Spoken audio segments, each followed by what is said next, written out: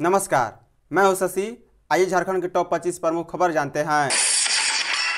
JSSC की नियुक्ति नियमावली पर सुनवाई, पूरी फैसला सुरक्षित। झारखंड कर्मचारी चयन आयोग की नियुक्ति नियमावली को चुनौती देने वाली याचिकाओं पर सुनवाई पूरी करने के बाद हाई कोर्ट ने फैसला सुरक्षित रख लिया है। बुधवार को chief justice doctor Ravi Ranjan व जस्टिस सुजीत नारायण प्रसाद की अदालत ने पाँच घंटे तक सभी पक्षों को सुनने के बाद फैसला सुरक्षित रख लिया।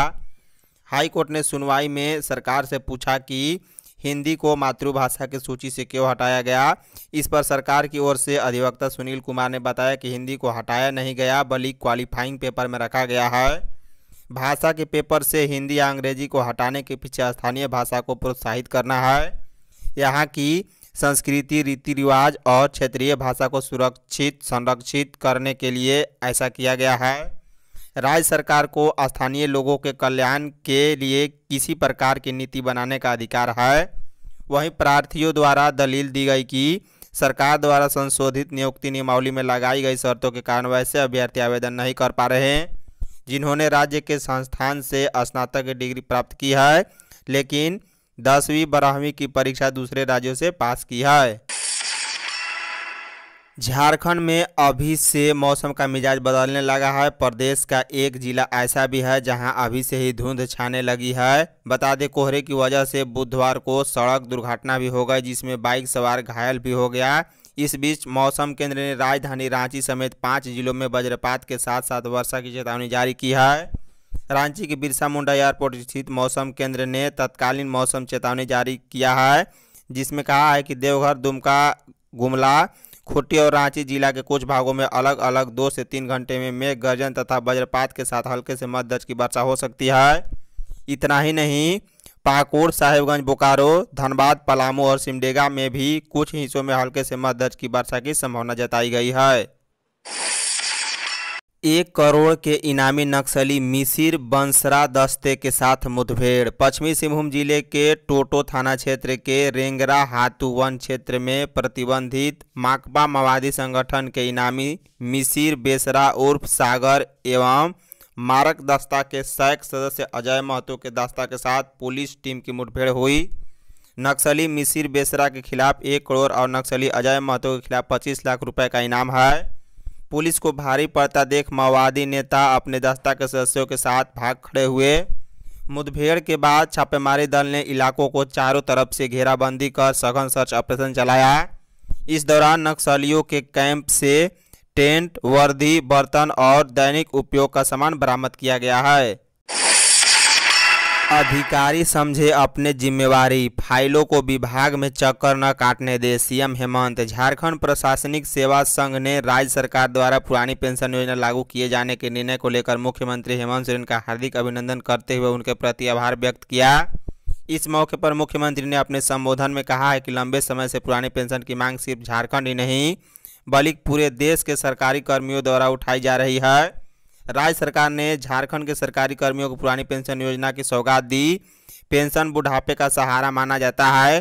कुछ कारणों से आप सरकारी कर्मियों से पेंशन रूपी सहारे की लाठी को छीन लिया गया था, लेकिन हमारी सरकार ने आपको उस लाठी को देने का काम किया।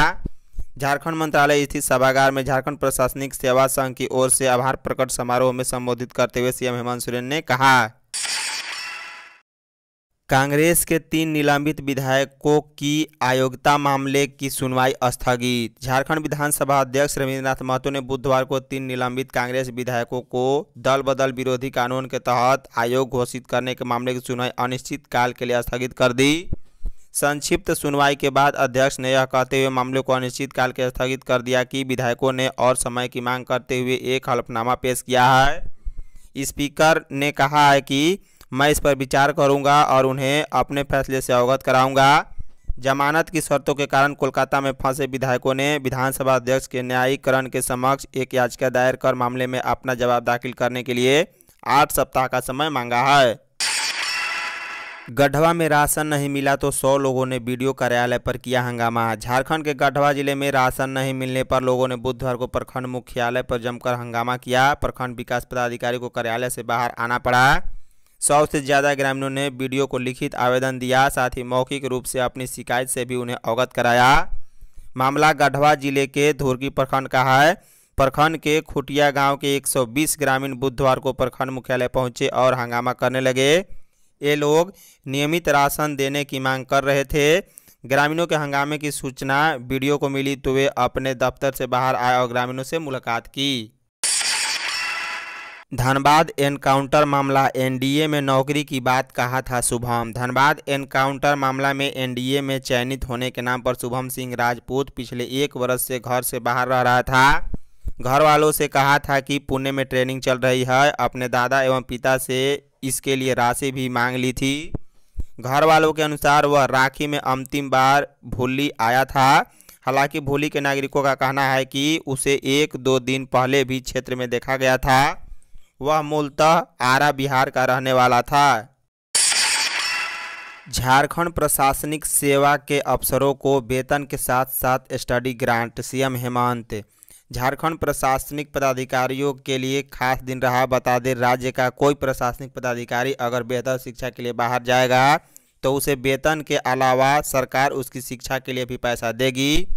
इसके अलावा अब राज्य प्रशासनिक सेवा के पदाधिकारी जिला भ्रमण के दौरान सर्किट भवन का भी उपयोग कर सकेंगे।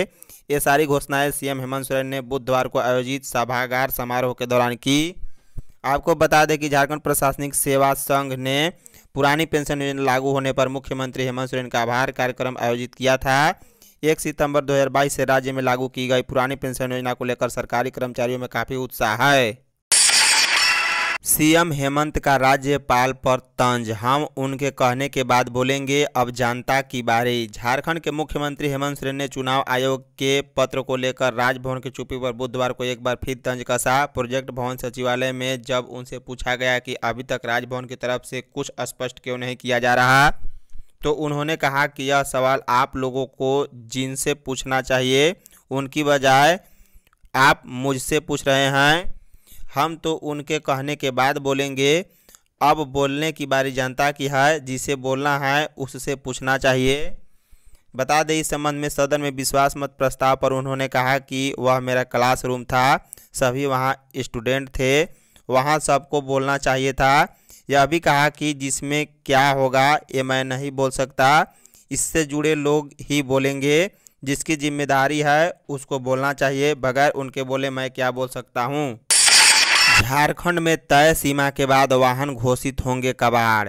झारखंड में राज्य सरकार ने मोटर वाहनों को कबाड़ घोषित करने संबंधित केंद्र की नीति को पूरी तरह से अपना लिया है। इससे संबंधित प्रस्ताव राज्य कैबिनेट से पारित हो चुका है। निबंधित वाहनों के निर्धारित समय सीमा पार कर चुके वाहनों को चलान गैर कानूनी तो होगा ही। इसके लिए जान माल का खतरा और भारी जुर्माना लगाए जाने की भी संभावना बनी रहेगी।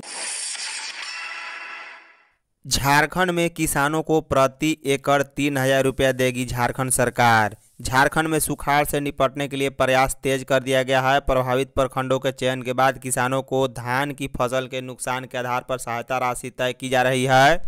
बता दें, तीस से चालीस प्रतिशत तक का नुकसान होने पर किसानों को तीन हज़ार रुपये प्रति एकड़ की दर से सहायता देने का प्राविधान किया जा रहा है। इसके अलावा, मवेशियों के चारे के लिए अतिरिक्त सहायता देने की योजना भी विभाग बना रही है। मवेशियों के लिए निःशुल्क सूखा चारा उपलब्ध कराने के लिए बाहर की कंपनियों से संपर्क किया गया है। राज्य में तीन लाख हेक्टेयर भूमि पर दलहन की खेती करने के लिए कृषि निदेशालय ने प्रखंड कार्यालय के ज़रिए किसानों को अनुदानित दर पर दलहन के बीज उपलब्ध कराने की शुरुआत की है। दुमका मामले में चार्जशीट दाखिल करेगी दुमका पुलिस। दुमका में एक तरफा प्यार में पेट्रोल छिड़क कर जला दी गई किशोरी के मामले में तीन दिनों के भीतर दुमका पुलिस चार्जशीट कर देगी। इस प्रकरण में जेल भेजे गए मुख्य आरोपित मोहम्मद शाहरुख हुसैन व उसके सहयोगी छोटू खान के विरोध दुमका पुलिस की चार्जशीट तैयार है। राज्य विधि विज्ञान प्रयोगशाला की रिपोर्ट को छोड़कर शेष सभी रिपोर्ट, पर्याप्त साक्ष्य गवाहों के बयान आदि पुलिस ने ले लिया है। मृतका की बिसरा की जाँच राज्य विधि विज्ञान प्रयोगशाला में चल रही है। बसंत सोरेन बोले, रिफ्रेश होने गए थे रायपुर। दुमका में दस दिनों के बाद दो किशोरियों की निर्ममता से हत्या की घटना के बाद पहली बार दुमका पहुँचे झामो विधायक नलिन सोरेन और बसंत सोरेन ने बुधवार को दोनों किशोरियों के स्वजनों से मिलकर हर संभव मदद का भरोसा दिया। रणेश्वर में आदिवासी किशोरी के स्वजनों को नौ लाख रुपए के मुआवजा राशि का चेक सौंपा।